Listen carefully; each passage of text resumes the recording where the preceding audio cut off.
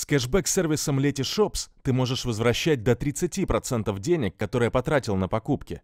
Сначала нужно зарегистрироваться, потом выбрать один из 2300 магазинов, перейти в него и сделать покупку как обычно. Вывести деньги можно любым удобным способом.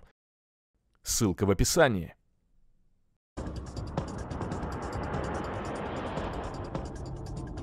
Гранд Каньон. Огромный лабиринт из высоких холмов и отвесных ущелий.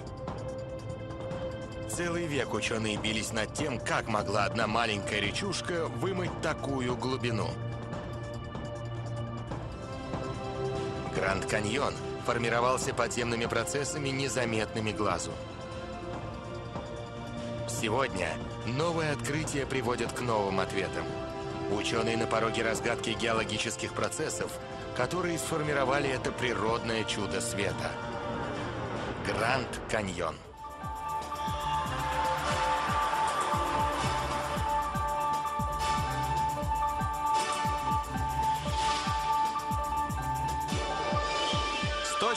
Науки, дело о планете Земля. Гранд Каньон. Он такой огромный, что его можно увидеть из космоса. 445 километров в длину, 29 в ширину и глубиной более полутора километров, Гранд Каньон – это самое глубокое ущелье на Земле. Его стены отвесно уходят вплоть земли.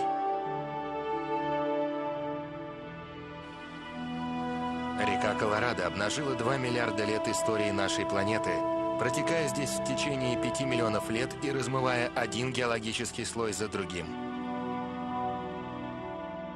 Первый человек прошел здесь несколько тысяч лет назад. С тех пор каньон очень увеличился. Как он таким стал? И какие секреты скрыты в его стенах? Для коренных американцев эта земля священна. Они веками почитали этот каньон. Каньон очень духовное и могущественное место. Согласно нашим легендам, мы все появились с дна каньона.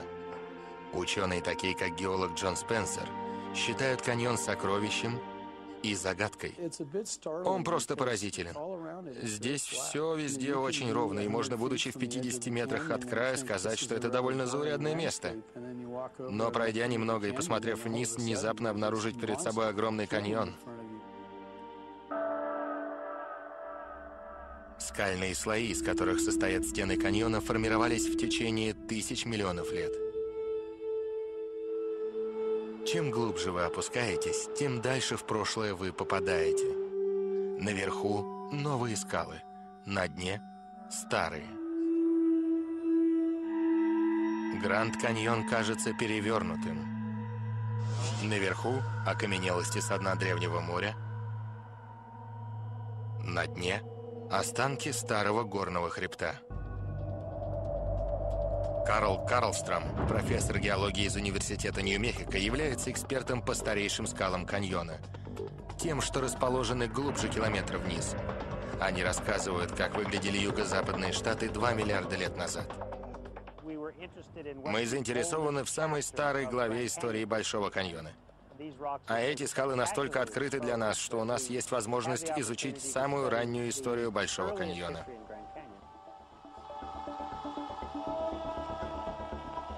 Эти скалы внизу — часть древнего горного хребта, который сейчас похоронен под тысячами метров скал.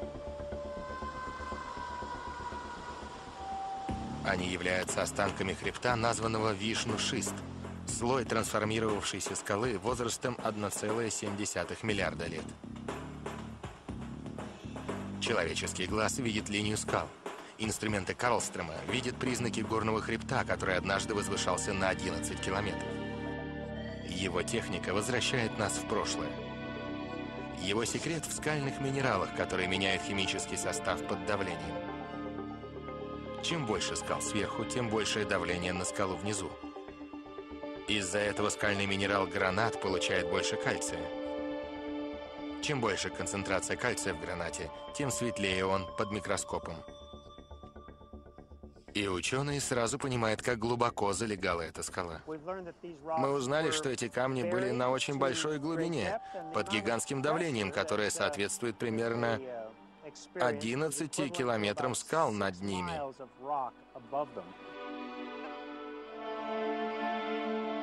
Друзья Карлстрома помогли геологам воссоздать вид этой местности 1,7 миллиарда лет назад. Рон Блейки, профессор геологии Университета Северной Аризоны Флагстаф. Он изучает древние континенты и обнаружил, что Калифорния не всегда была частью западноамериканского побережья. Вероятно, береговая линия Северной Америки того периода была южнее Вайоминга, возможно, вдоль границы Вайоминга с Колорадо, и тянулась до района Верхнего озера, а потом к Канаде. Я бы сказал, что, возможно, лишь две трети Северной Америки сформировались к тому моменту.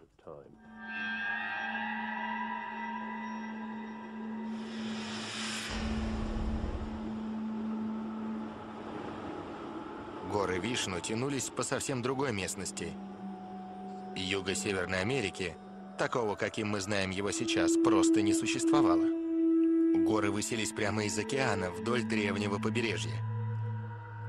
Впоследствии они стали частью североамериканского континента и сформировали основные скалы Большого каньона.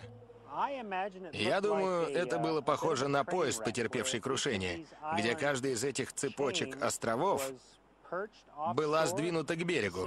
Острова, на которых были солидные горы, почти такой же высоты, как на Алиутских островах. На глубине 11 километров ниже вершин гор на этих островах камни получали характерные примеси кальция. Но горы над ними простояли недолго. Через примерно 500 миллионов лет эрозия стирала их, пока не остались лишь эти на дне, самый старый слой Большого каньона. Поднимаясь по склону каньона, мы продвигаемся вперед во времени. Каждый метр приближает нас к нынешнему времени – и у каждого периода своя история. В течение сотен миллионов лет Земля непрерывно меняла форму.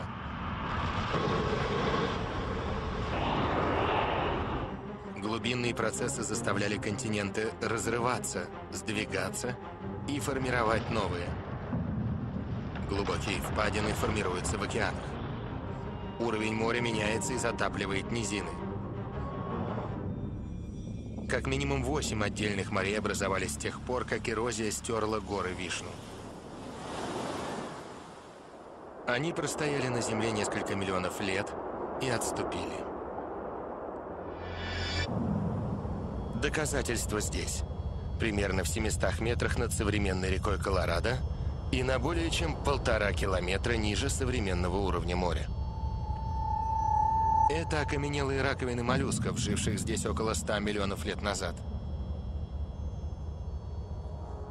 Море мелового периода тянулось от Канзаса на востоке до Невады на западе, от Мексики на юге до Арктики на севере.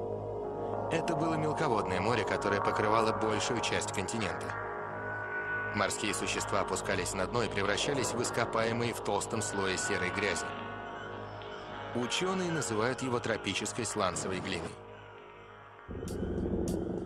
Уэйн ранее очарован этим районом богатыми ископаемыми. Они помогают ему понять историю этой местности. Это раковина моллюска, миллионы которых жили в этом мелководном море, покрывавшем внутреннюю часть Северной Америки около 80-90 миллионов лет назад. Моллюски жили в этом древнем море не одни. Оно кишело жизнью. Акулы, черепахи и аммониты тоже населяли его воды. Сегодня, когда эрозия постепенно стирает слой скал, появляются новые ископаемые. В 2005 году, примерно в 112 километрах от края каньона, палеонтологи нашли хорошо сохранившийся скелет плезиозавра, динозавроподобной рептилии, питавшейся рыбой. Мечта Дэвида Джилета стала реальностью – он главный палеонтолог в музее Флагстаффа в Северной Аризоне. Такому убежденному палеонтологу, как я, шанс найти скелет плезиозавра, вроде того, что мы нашли в сланцевой глине, выпадает раз в жизни. Плезиозавр, который передо мной собран только наполовину. Мы нашли только переднюю часть тела. Но это самое потрясающее зрелище, которое я только могу себе представить. Плезиозавр – морская рептилия. В последний раз они встречались около 65 миллионов лет назад, когда на планете было страшное вымирание видов. Плезиозавр Джилета гораздо старше. Он жил около 90 миллионов лет назад. Четкое доказательство того, что тогда эта местность была под водой. После морей остаются огромные отложения грязи, песка и останков живых существ. Морские течения переносят все это, пока оно не осядет. И со временем эти отложения становятся слоями осадочной скалы. Объясняет Рон Блэки. Я сейчас вам покажу пример отложения. Здесь у меня стеклянный цилиндр с водой и осадком, большая часть которого песок. Я встряхну его. Тряска создаст энергию, песок перемешается с водой в цилиндре, а когда я его поставлю, энергия пропадет, и осадок быстро опустится. Давайте посмотрим, как это происходит.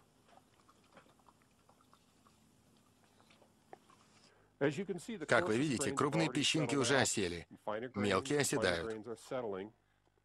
Сейчас уже большая часть песка осела, но вода еще мутная, потому что в ней все еще есть мельчайшие частички.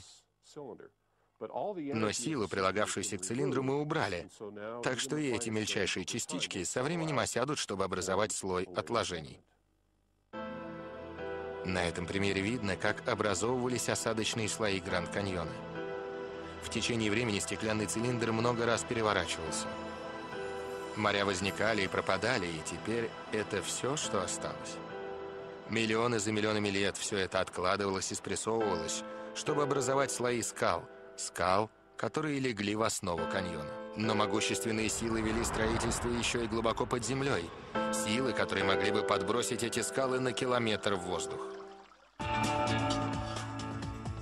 Мы отправились в путешествие, чтобы выяснить, какие геологические процессы сформировали Гранд Каньон.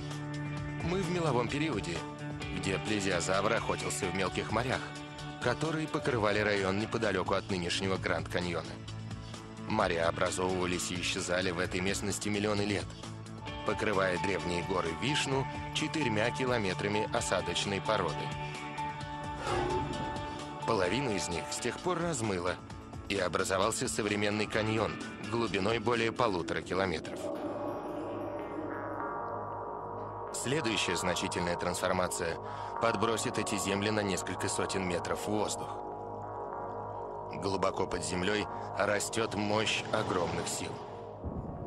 Это одна из самых величайших сил на планете – гигантская мощь сталкивающихся тектонических плит –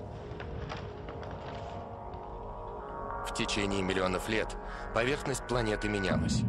Ученые объясняют этот процесс, используя теорию тектонических плит. Поверхность Земли представляет собой набор огромных плит. Они плавают по мягкой пластичной части земной мантии. Внутреннее ядро Земли может достигать 6,5 тысяч градусов по Цельсию. Жар, исходящий от ядра, создает конвекционные потоки на следующем слое, нижней мантии, медленно передвигающие плиты по поверхности. Ученые называют это континентальным дрейфом. Со временем плиты двигаются, сталкиваются, образуя и переделывая наш мир.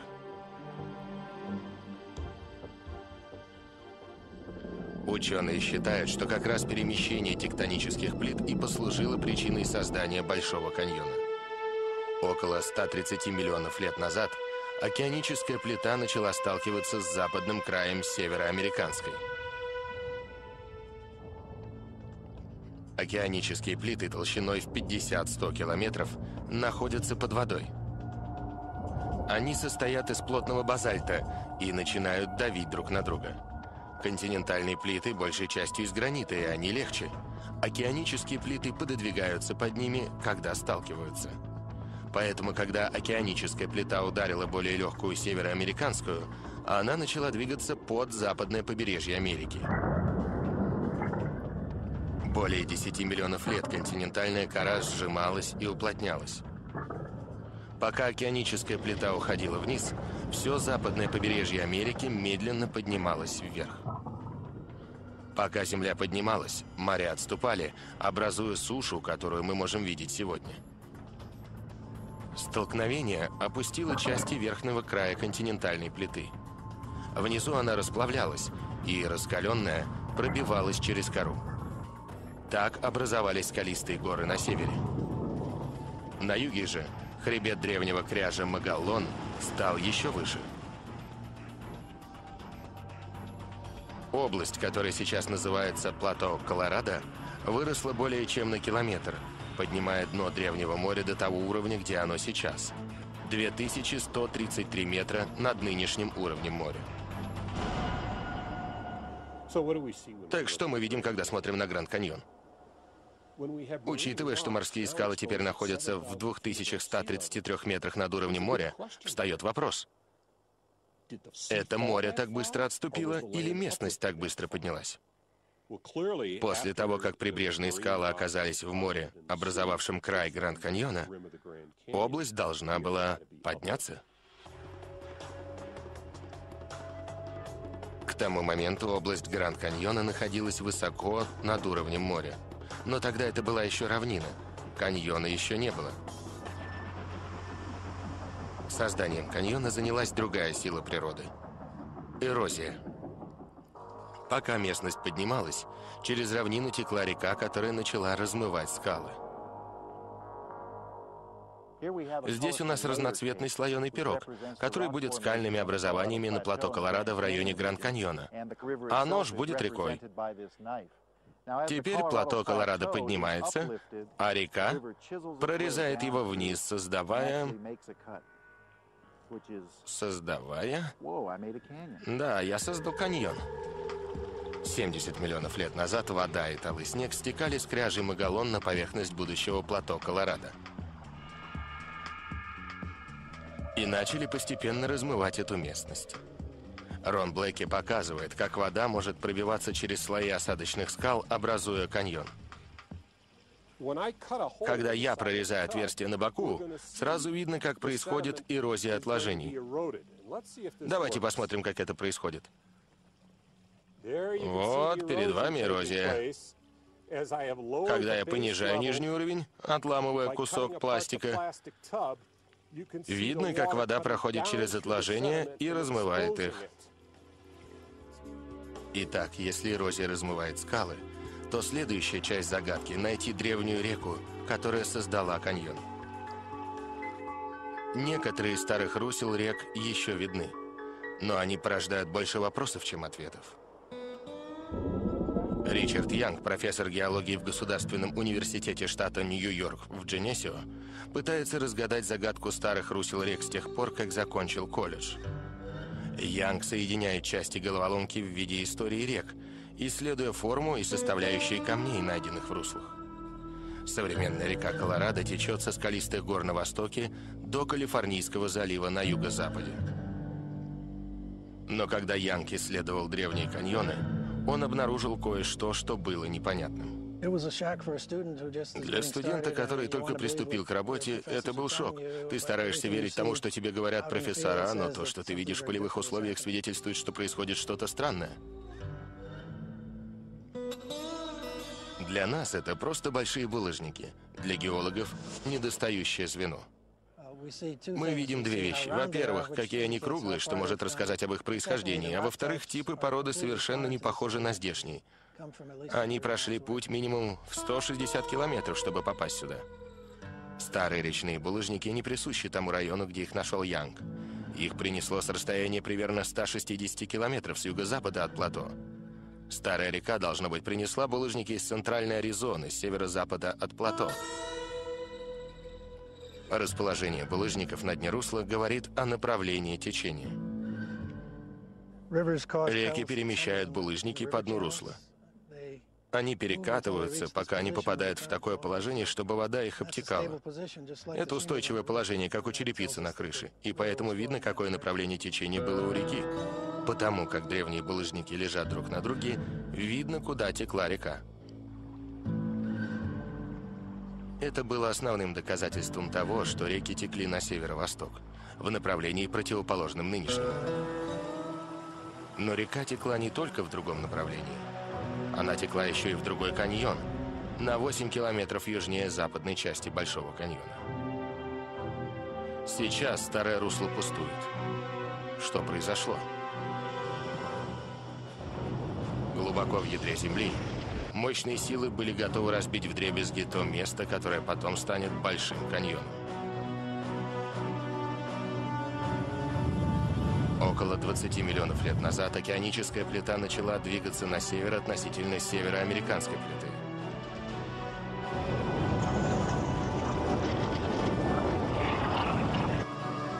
Под кряжем Магалон к юго-западу от каньона нарастал жар.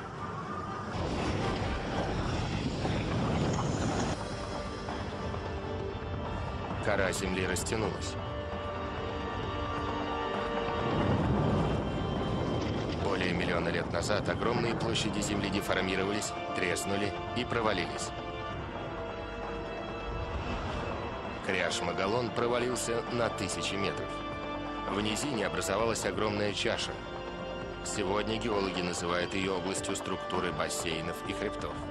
Уэйн ранее объясняет все с помощью домино. Одно смещение начинает цепную реакцию, и все блоки образуют наклон. Такую же наклонную поверхность вы можете видеть на краю плато Колорадо. Скальные слои, которые были однажды горизонтальными, теперь практически вертикальны. Эта область сначала наклонилась, а затем обрушилась. Древняя история считается по размещению каждой породы. Обвал полностью переделал топографию региона. Прежде кряжи на юге высились на сотни метров над плато Колорадо. После обрушения область бассейнов и хребтов опустилась почти на километр. Это была главная часть научной головоломки. Реки изменили течение, потому что весь ландшафт изменился. Когда произошло это смещение, целая область опустилась и стала ниже, чем плато Колорадо. По этой причине реки смогли изменить свой курс и течь в противоположном направлении, в сторону Калифорнии. Ученые считают, что разгадали загадку, почему реки обратились вспять. Но они все еще в шести километрах от нынешнего каньона. Эти древние реки создавали каньоны. Но не этот каньон и не такого масштаба. После обрушения сформировалась новая река, река Колорадо. И у нее было новое направление. Но когда и почему? Нужно было найти более ранние признаки этой реки. Ко всеобщему удивлению, разгадка нашлась вне Гранд-Каньона. В нижнем течении реки Колорадо, в 160 километрах до того, как река впадает в Калифорнийский залив, ученые обнаружили крошечные ископаемые. Кристин МакДугал, геолог-исследователь из геологической службы США, изучала эти ископаемые. Они называются фораминиферы – Фораминиферы похожи на пыль. Это микроскопические морские моллюски. Фораминиферы мелового периода, которые мы нашли, напоминают три мячика для гольфа, соединенные вместе. Фораминиферы микроскопические, 100 штук могут поместиться на кристаллике соли. Но они могут рассказать, когда река начала размывать каньон. Фораминиферы не присущи району нижнего течения реки Колорадо. Их дом гораздо дальше, к северу. Единственным путем, каким их ископаемые могли оказаться в отложениях нижнего течения реки Колорадо, если река сама их перенесла. Изначально они находились в глинистом сланце мелового периода на плато Колорадо, к северу от Гранд-Каньона. Их вымыло и пронесло по течению современной реки Колорадо, в районе которой они и остались. Датирование отложений, в которых были найдены ископаемые, помогло разгадать загадку. Отложения сформировались, когда река изменила курс на сегодняшний. Рассуждая геологическими категориями, все это произошло в мгновение ока. Эти ископаемые мелового периода говорят о том, что река Колорадо сменила курс по меньшей мере 4,5 миллиона лет назад. Это очень-очень впечатляющая находка. Доказательства говорят о том, что 4,5 миллиона лет назад река текла по ее нынешнему направлению с северо-востока на юго-запад. Ученые считают, что разгадали загадку возраста реки. Но ее решение принесло новые вопросы. Они знали, когда образовалась река, но они до сих пор не знали, как. Многие реки очень бурные у истоков. Они рвутся вниз по местности, размывая все на своем пути. Ниже по течению они становятся спокойнее. Вода движется медленнее, а русло шире. Но выше по течению, у истока, река увеличивает свое русло, потому что срывающаяся вода размывает больше скал. Она наступательно прокладывает свое русло. По одной теории, река Колорадо так и появилась. Такая наступательная эрозия обычно происходит, когда крутизна русла увеличивается – это дает реке больше энергии, чтобы пробиться глубже в скалы. Чем круче угол, тем больше дождевой воды стекает в реку, и тем быстрее она стекает со склона. Река размывает почву и камень на вершине, и также может удлинить свое устье у истока. Могла ли наступательная эрозия стать механизмом, который заставил реку Колорадо протекать через плато? Мы выяснили, что плато Колорадо поднялось на полтора километра над уровнем океана 70 миллионов лет назад, образуя крутой уклон к нынешнему Калифорнийскому заливу. Это хорошее объяснение, но его можно оспорить. В современной реке Колорадо только 4,5 миллиона лет. А плато поднялось на 65 миллионов лет раньше. Возможно, был еще один более поздний подъем – который бы объяснил, как река пересекала плато.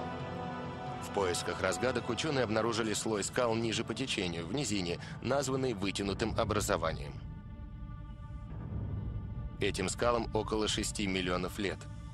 И некоторые их части возвышаются почти на 600 метров над уровнем моря. Когда ученые пригляделись к ним внимательнее и нашли в них морские ископаемые, они поняли, что обнаружили что-то выдающееся. Мы нашли три ключевых ископаемых в вытянутом образовании. Первое – планктон фораминифера, который плавает на поверхности воды. Второй – разновидность под названием аммониты. Это мелководные фораминиферы. И есть третий вид, который обитает гораздо глубже в океане. Ископаемые означают, что эти слои скал образовывались в морской воде доктора Ива Лучита эти ископаемые подводят к новой теории о том, что здесь произошло. Он считает, что когда Калифорнийский залив образовался, он тянулся на 160 километров дальше на север, чем сегодня. Мертвые морские организмы осели на дне и остались в белых осадочных образованиях, вроде вытянутого образования. Сегодня ископаемые находятся в сотнях метров над уровнем моря. Это и есть та разгадка, которую он искал. Однажды, рассматривая сегодняшнее возвышение остатков вытянутого образования, я понял, что это образование и земля вокруг него были подняты примерно на 500 метров за последние 5 миллионов лет. Он считает, что эта область была поднята на сегодняшнюю высоту после того, как около 6 миллионов лет назад образовались эти ископаемые. А этот второй подъем создал идеальные условия для наступательной эрозии. Поднимая плато, вы увеличиваете крутизну угла реки до ее впадения в залив, таким образом позволяя ей проводить более быструю эрозию. Но проблема в том, что с этим не все согласны. Явное присутствие морских ископаемых на вытянутом формировании в 300 метрах над уровнем моря не является неопровержимым доказательством того, что эта область была поднята. Ведущий геолог Джон Спенсер из геологической службы Аризоны не убежден насчет теории второго подъема. Я не принял идею того, что Земля могла просто подниматься и опускаться. Я называю это прыжками тектоники, а я не верю в прыжки тектоники. Спенсер и его команда исследуют пробы скал вытянутого формирования. Их особенно интересует уровень изотопов стронция. Изотопы стронция, найденные в этих скалах, это нестандартные атомы, неразличимые для обычных микроскопов. Они встречаются в тяжелой и легкой форме. Обычно концентрация тяжелых и легких различается. Это зависит от происхождения воды. В речной воде концентрация изотопов стронция отличается от аналогичной концентрации в морской.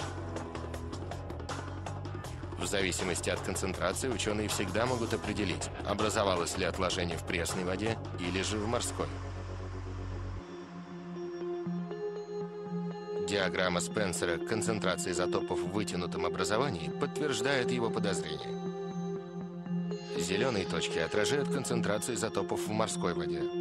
Синие демонстрируют пропорции, обычные для речной.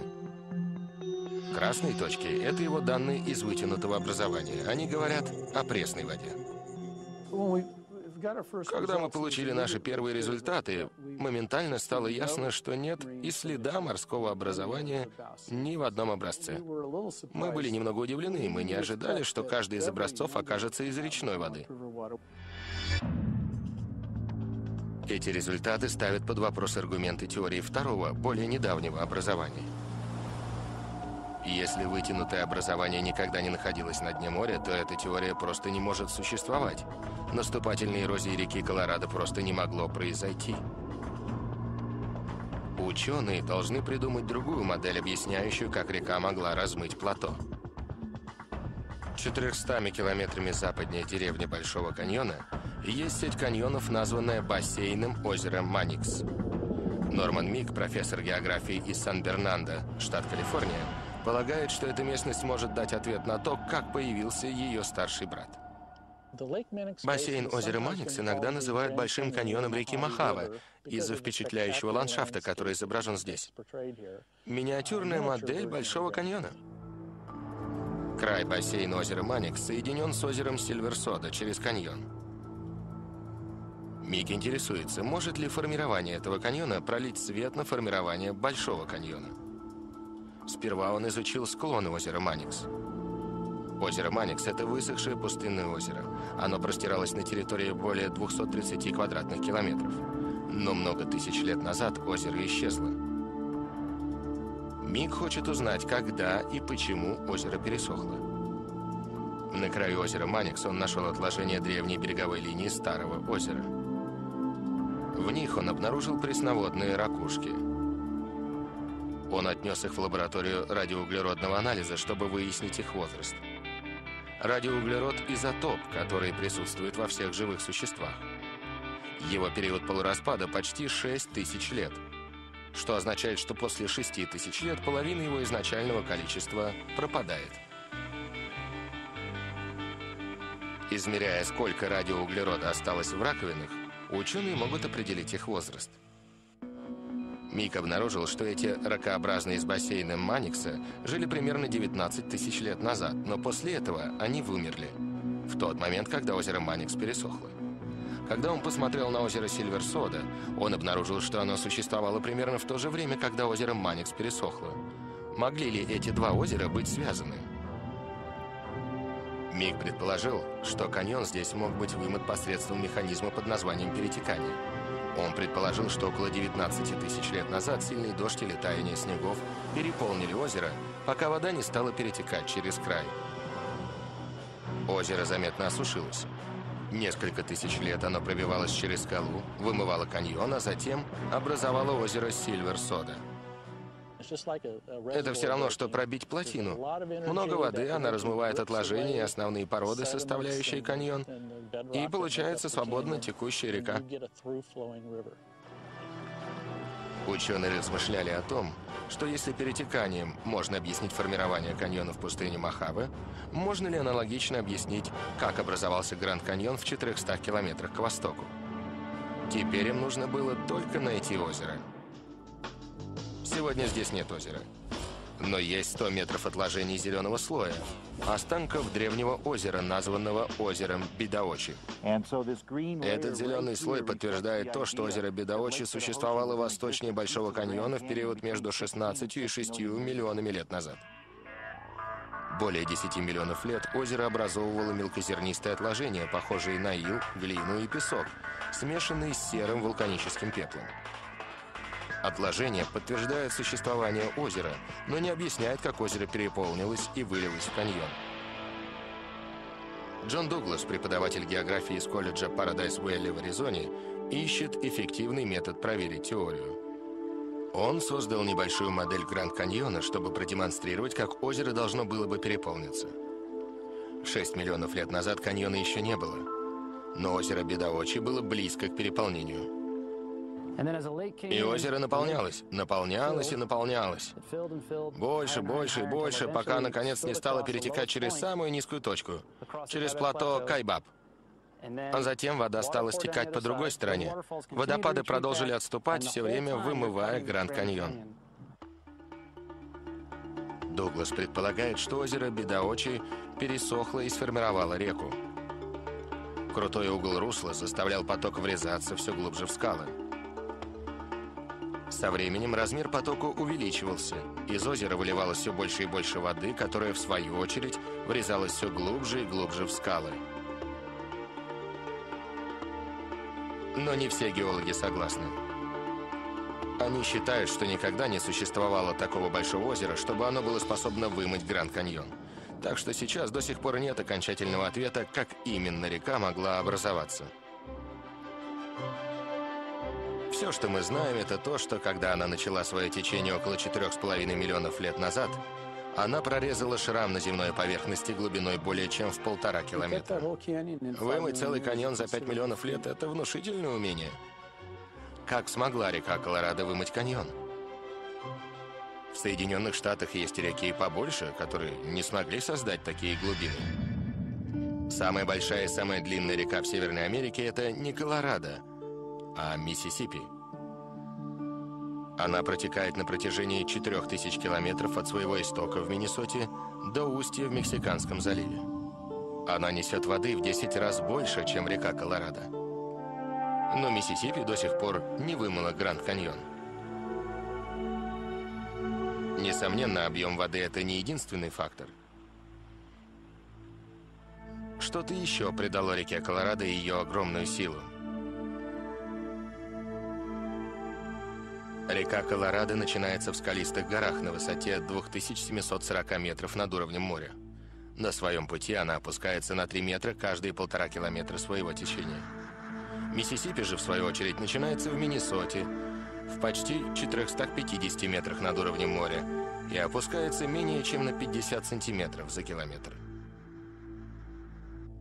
Несмотря на то, что Миссисипи несет в 10 раз больше воды, она менее размывающая, потому что у нее очень маленький угол наклона. Все реки стекают вниз. Это закон гравитации. Две реки могут нести одинаковое количество воды. Но на каждый градус угла наклона более обрывистая река получает 1% увеличения силы. Мои данные говорят о том, что эта река и даже ее небольшие притоки имели достаточной силы, чтобы прорезать любую скалу, как масло. Скорость и глубина, конечно, зависят от скалы, по которой она течет. Твердые породы вроде гранита очень плотные, так что река прорезает узкий желоб. Мягкие породы, как глинистый сланец, гораздо легче поддаются размыванию, поэтому река может вымыть целый каньон. В случае мягких пород стены размываются и каньон увеличивается. Джоэл Педерсон, геоморфолог из Государственного университета Юты, пытается выяснить, как река размывает стены каньона. Информацию, которую мы собрали, мы относим к истории реки и тому, как река вела себя в прошлом. Кроме вымывания, она же останавливалась и оставляла отложения. Педерсон хочет выяснить, как быстро вымывался каньон. Он применяет технику, которая называется люминесцентная датировка. Он использует свет, чтобы определить возраст скал. Этот способ применяется к отложениям, в которых присутствуют минералы вроде кварца или полевого шпата, которые были скрыты в темноте. Отложения нарастали, постепенно скрывая их от солнца. Педерсон измеряет количество свечения, которое дает образец, когда его вытаскивают на свет. Этим методом можно датировать отложение возрастом от нескольких сотен до нескольких сотен тысяч лет. Мы берем отложение, которое еще не видело света. Металлическая труба защищает его от солнца. Мы вытаскиваем трубу и везем ее в лабораторию. В лаборатории ученые подвергают образцы древних речных отложений воздействию световых волн определенной длины. Эта энергия побуждает к действию электроны в образце, которые реагируют, выделяя свою энергию в форме света. И этот минутный сигнал измеряется. Чем сильнее ответ образца, тем дольше он находился в глубине, без света. Это подскажет нам нужный момент во времени. Сколько лет назад река сформировала эти отложения, а затем похоронила их под другими, так что они не видели света.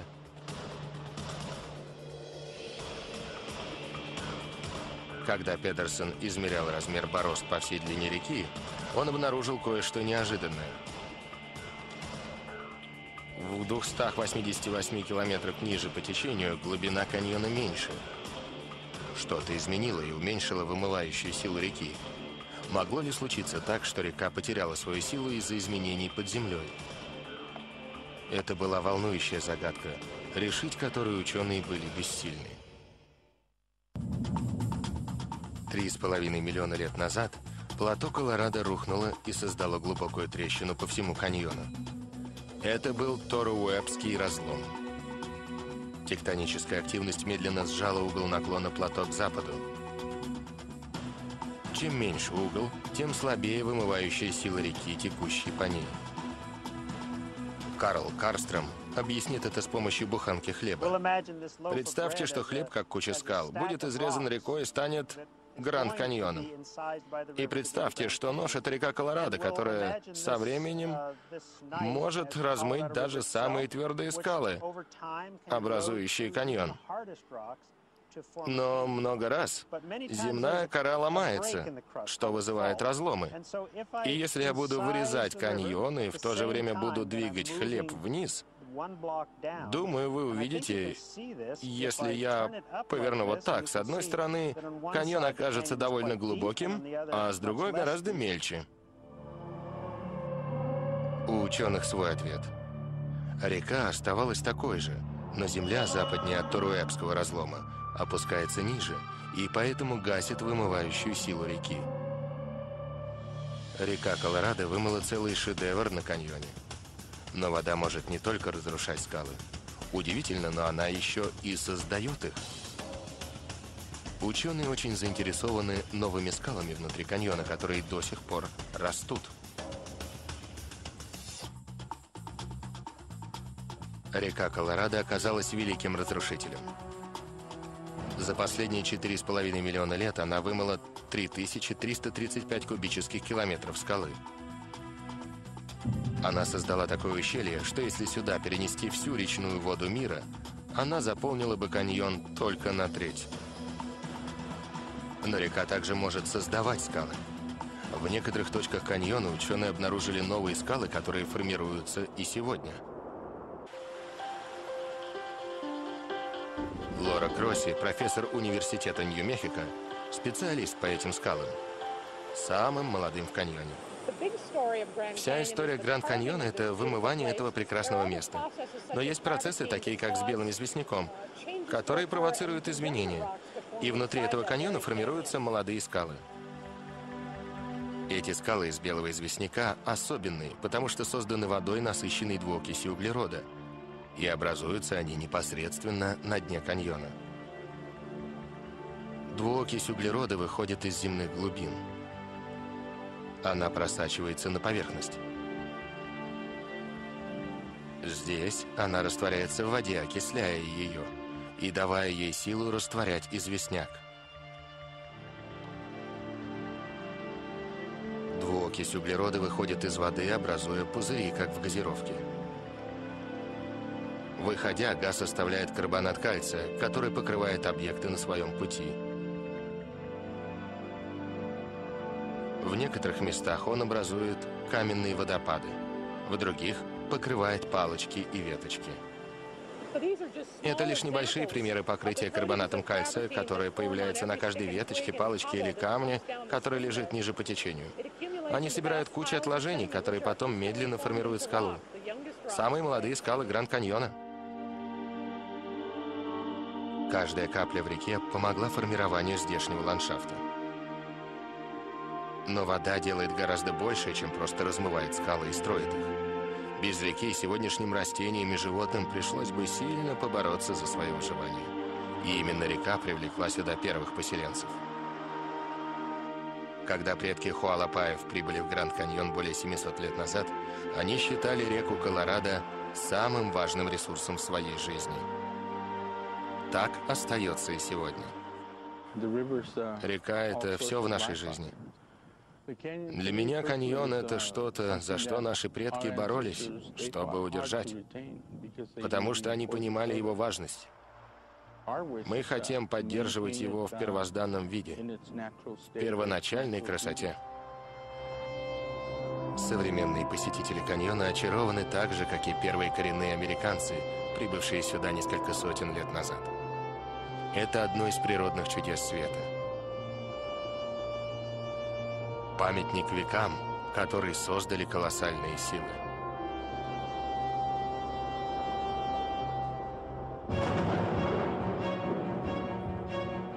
Это началось 1,7 миллиарда лет назад.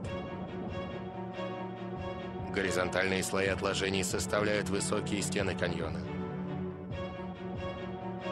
Подъемы делают плато выше, а реки врезаются глубже в скалы. Сейчас климат сухой, ничего не потерялось, все на виду. Тяжело найти такой же впечатляющий каньон. Разве что в юго-восточном Тибете, на родине самого большого, самого длинного и глубокого каньона. Великого каньона Ярлунг-Цампо. Здесь климат другой, и местность покрыта плотной зеленью.